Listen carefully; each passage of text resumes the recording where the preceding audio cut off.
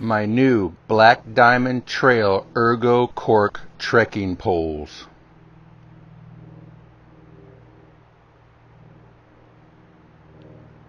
Hey everybody, it's Mark the Lost Traveler.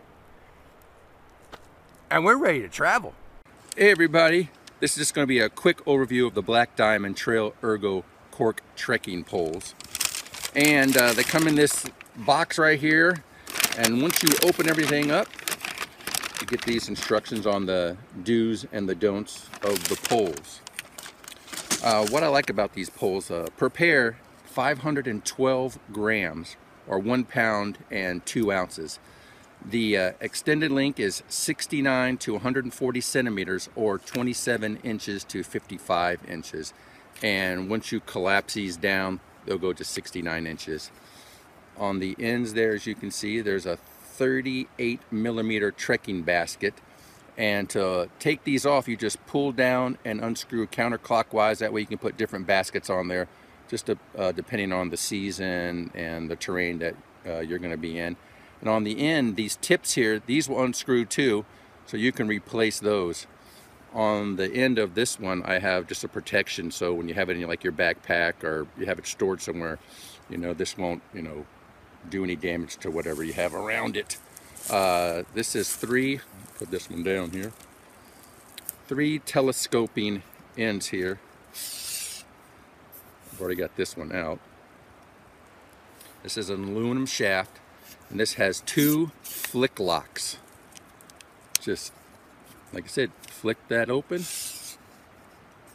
and then snap it down. This is a lot better than those screw types that that uh, are a lot of poles and those things get messed up. Plus you know once you really put some force on there those things like to slide. So these right here once you get that locked in this is not moving. If you need to adjust the tightness on this you, right here you can use a Phillips screwdriver or a flathead screwdriver. Um, this has cork grips which I which I really like it absorbs all the sweat and everything. Usually when you have the, the foam type or the plastic, you know, they get all kind of like mucky and sweaty and it just, the grip's not very good. Then you have a lower foam extension here. Uh, these are fusion straps. And then on each one of these, as you can see, I don't know if I got it in there or not, but there's a, let me pull this down here. There's a left and a right. And to adjust these, just pull on the top and then just pull this little tab down. And what I found out uh, from some people that when I was on the Black Diamond uh, video, you don't want to come up above and put your arm down and grab it like this because if you happen to fall down, see how your, your hand gets kind of stuck there? You're not going to be able to break your fall. So you want to come from underneath and grip the pole. So if you fall, see how your hand's free like that? So that's a good uh, safety tip there. On the pole itself, you can see all the, the numbers there for the top half. And then I'll flick this and just extend that out. So there's all the all your numbers in centimeters. And one thing about these is these won't rub off. Uh, some of these guys have had these poles for three and four years and the numbers you can actually still see them.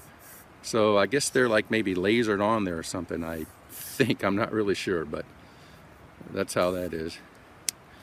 And then how you want to set it up after you uh, get your link down, you want you want your arm, I don't know if I can get in the video, but you want basically a 90 degree angle there on your elbow. All right. So I hope you like these. These again are the Black Diamond Trail Ergo Cork trekking poles, and I'll leave some links at the bottom. All right, and on that note, traveler, oh, I, th I think I swallowed a bug. On that note, traveler out.